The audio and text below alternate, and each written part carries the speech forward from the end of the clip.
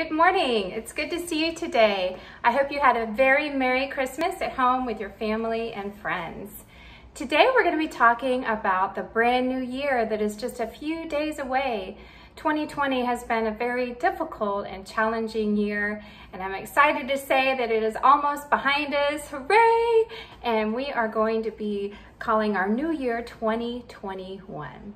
I was going through some things in the garage and I found one of these really fun tiki torches. I'm sure you've seen these before.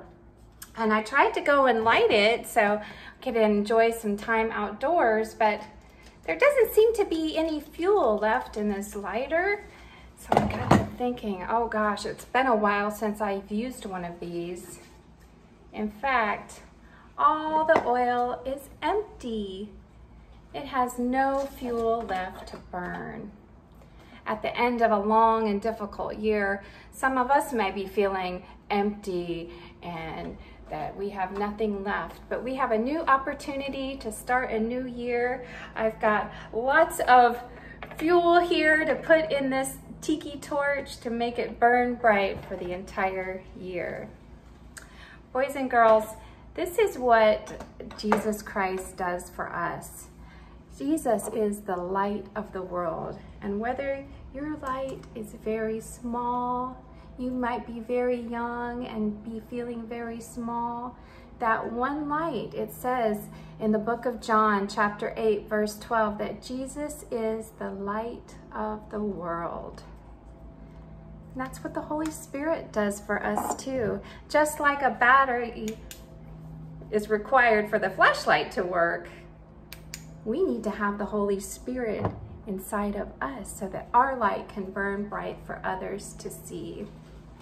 One of my favorite children's books is this one here, Lumi the Light Learns to Shine. If you'd like to borrow it, just come see me or you can check it out at the library. And Lumi was feeling very sad, but she started to find her light and Lumi felt the presence of her Heavenly Father and created. And these Bible verses came to her and I'd like to share those with you today. You are the light of the world. A city that is set on a hill cannot be hidden. Nor do they light a candle and put it under a bush, but on a candlestick, and it gives light to all who are in the house. Let your light so shine before men that they may see your good works, glorify your Father in heaven. That's from the book of Matthew, chapter 5, verses 14 through 16. This is the good word that I want you to remember this brand new year that Jesus fills us up and he gives us the fuel that, so that we can shine bright for others to feel his love. Happy New Year, everyone.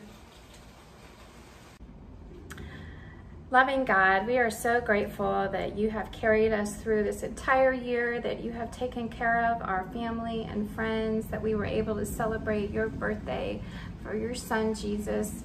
God, we ask a special blessing as we go into this brand new year, that you fill us with enough light to shine bright for the entire world to see. In Jesus' name we pray, amen.